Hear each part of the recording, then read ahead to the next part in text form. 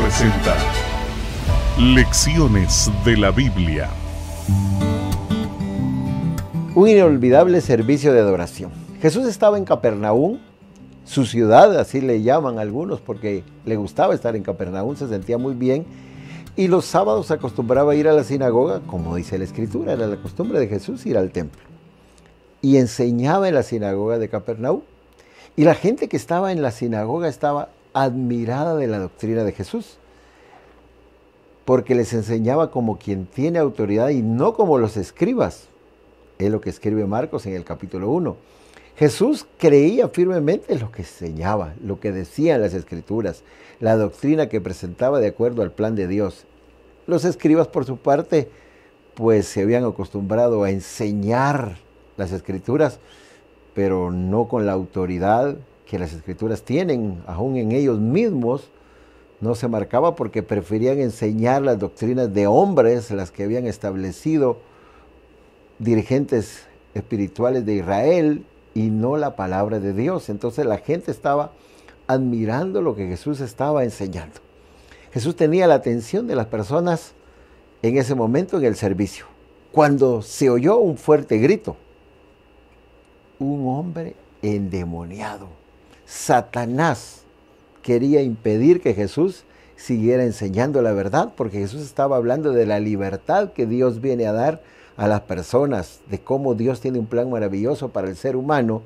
Y entonces aquel hombre que tenía un demonio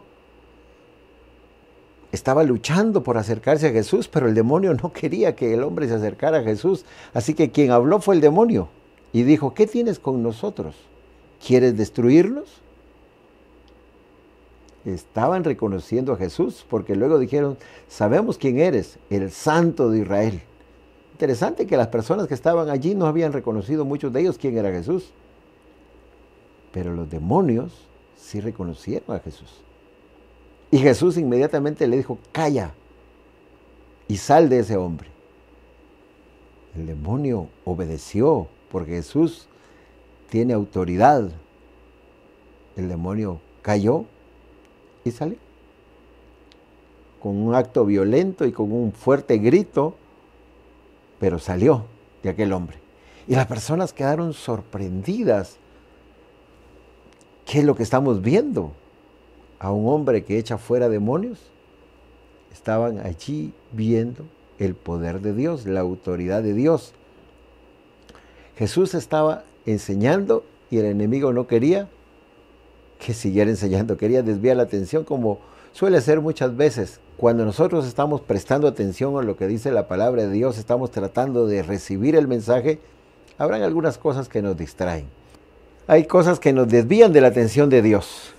Queremos darnos cuenta que Dios tiene un mensaje para nosotros, pero prestamos más atención a las cosas de este mundo, nos distraemos tal vez ahora con un celular en la mano, nos distraemos porque alguien nos habla y estando en el servicio de oración, no recibimos lo que Dios tiene preparado. Aquel día fue un día inolvidable. Lo que sucedió llenó de expectativa ante lo que sería el futuro, estando presente Jesús. No sé si algo ha sucedido en tu vida que alguna vez en el culto hubo una predicación, hubo un canto, hubo una presentación o un testimonio que impactó tu vida. Es bueno recordarlos, pero sobre todo lo mejor es estar delante de Dios y recibir todo lo que Dios tiene para nosotros. Entonces podrá ser un día inolvidable y que especialmente sea un día que transformó nuestras vidas, porque entendimos realmente quién era Dios. Vuelvo a decirte, ahí estaban personas oyendo a Jesús, se admiraban de su doctrina, pero no habían comprendido quién era. Y el demonio sí, dijo quién era. Y eso pudo haber impactado la mente de las personas, como hay cosas que suceden e impactan nuestra mente, que siempre sea las cosas que Dios ha preparado para nuestra vida espiritual.